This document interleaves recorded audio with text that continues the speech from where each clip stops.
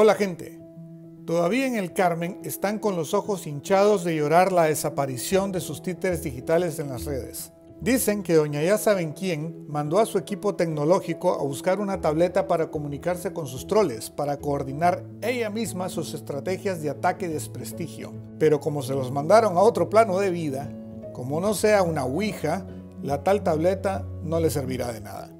En fin, con ese flanco perdido, la dictadura se concentra en otros.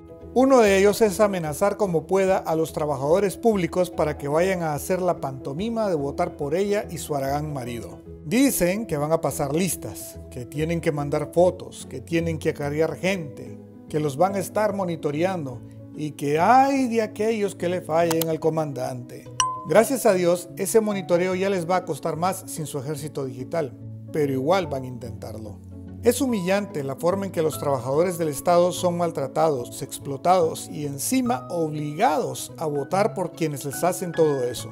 Claro, hay gente ahí cuyo único mérito es ser religiosos del cepillo, pero también queda gente profesional con algo de pudor y mucho de rabia por ser tratados como mayordomos de cuarta. Es así pues que ni los votos que Ortega y Murillo pudiesen conseguir de verdad son de verdad pues son frutos de la extorsión, del abuso y la explotación de gente a la que le hacen creer que comen por voluntad del tirano, cuando en verdad lo hacen gracias a los impuestos del mismo pueblo. Esperemos les lluevan consejos e ideas para poder bypasear los controles de la dictadura y no tener que someterse a la humillación y el sentimiento de culpa de votar por quienes los ven y tratan como muñecos de trapo, de trapo rojinegro. No a la farsa electoral. Viva Nicaragua libre.